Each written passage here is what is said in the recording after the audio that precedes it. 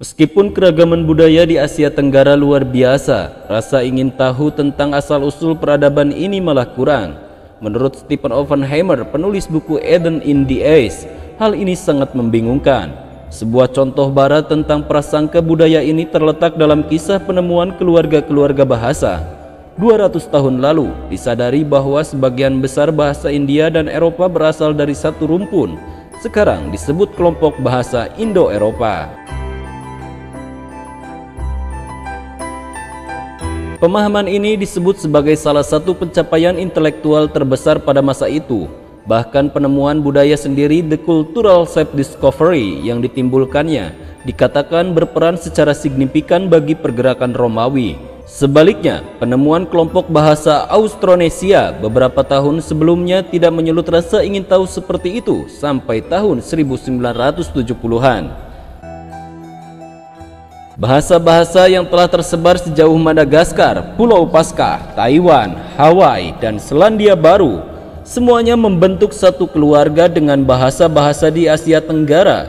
Mereka telah tersebar menyeberangi Pasifik dan mungkin mengelilingi Samudra Hindia sebelum Buddha dilahirkan.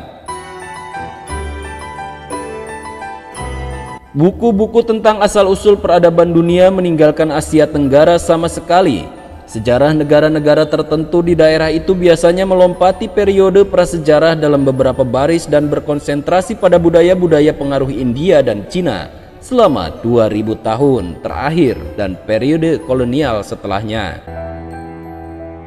Sampai baru-baru ini, budaya Dongson zaman perunggu dan para pelompornya di Vietnam pada milenium pertama sebelum Masehi Sesungguhnya, satu-satunya peradaban rumit tua yang diyakini sebagai indigenos atau asli bagi daerah tersebut. Para etnografer sering menemukan kepercayaan-kepercayaan religius yang magis dan mitologis di antara para penghuni pulau-pulau Pasifik yang mempunyai hubungan erat dengan budaya-budaya Eropa dan Timur Dekat. Biasanya, mereka membuat anggapan tentang pengaruh Barat ke Timur, namun tidak ada bukti aliran budaya seperti itu sebelum periode yang relatif baru, yaitu penjelajahan Eropa. Ada lebih banyak lagi alasan bahwa budaya tentang prasejarah Asia Tenggara hanya dipandang sebelah mata. Salah satunya adalah terpisah dari Thailand dan Vietnam. Para arkeolog hanya peneliti permukaannya saja di situs-situs Neolitikum dan zaman perunggu di Asia Tenggara. Alasan lainnya adalah kurangnya catatan tertulis yang bisa diterjemahkan dari periode pra-India. Alasan ketiga mungkin alasan yang penting adalah bahwa sebagian besar situs terkait daerah ini sekarang berada di bawah air. Beberapa temuan arkeologis baru-baru ini telah membentuk keraguan pada pandangan yang telah diterima bahwa dari daerah ini adalah cabang dari peradaban Cina dan Barat. Pertanian sistematis di Indonesia jauh mendahului dari pencapaian serara di buayan dunia lama tradisional pada revolusi Neolitikum di timur jauh.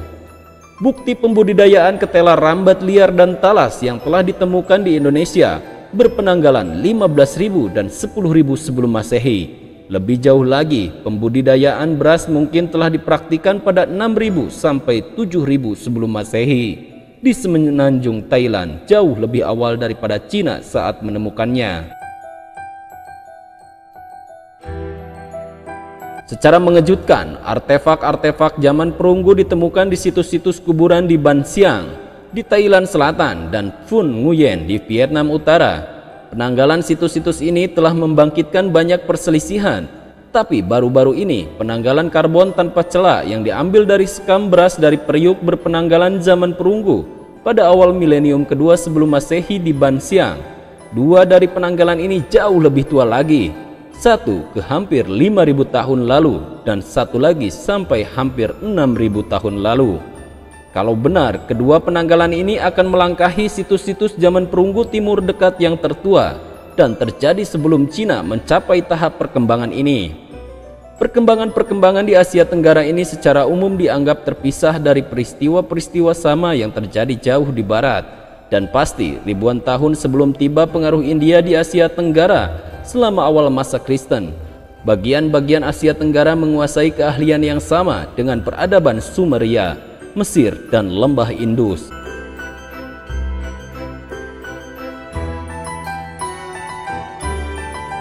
Dengan waktu yang saran atau bahkan lebih awal, kalau orang-orang Asia Tenggara mempelajari keahlian-keahlian peradaban mereka dari India, siapa yang mengajari mereka pertanian dan teknologi metalurgi ribuan tahun sebelumnya? Dan apa yang mereka lakukan selama jeda tersebut? Jadi, jeda-jeda seperti itu dalam kronologi arkeologi Asia Timur lebih dari 10.000 tahun yang lalu. Tiga revolusi besar muncul dalam perkembangan masyarakat manusia ketika tingkat permukaan laut naik setelah zaman es. Setelah pertanian dan metalurgi, yang terakhir adalah pemekatan tiada henti dari peradaban-peradaban rumit di timur dekat dari 3200 sebelum Masehi sampai 2500 sebelum Masehi.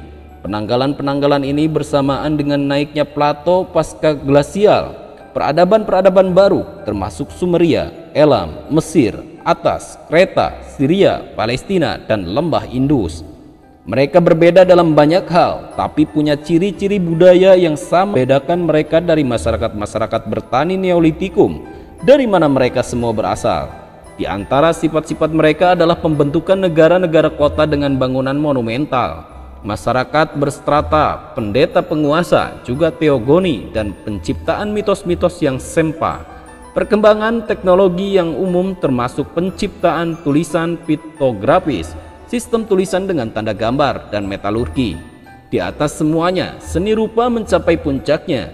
Harus ditekankan bahwa meskipun inovasi mereka sama, cara mengungkapkannya unik di setiap peradaban.